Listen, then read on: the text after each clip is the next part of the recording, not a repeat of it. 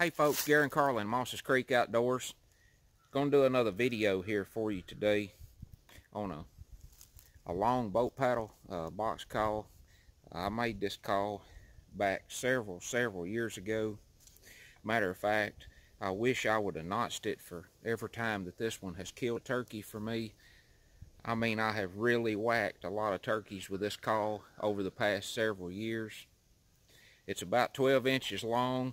It's one of the older style calls. It, it does not have the spring under the lid out here, so it's very free how it, the lid operates across the box. It's really raspy, really ringy. It's a, a pecan lid, and the box is made out of uh, sassafras. It's been an extreme killer as far as how it sounds. So I'm going to walk down through here and I'm gonna let you hear a test run on it. It sounds uh, quite amazing. Some pretty good kee-kees as well. So stay tuned.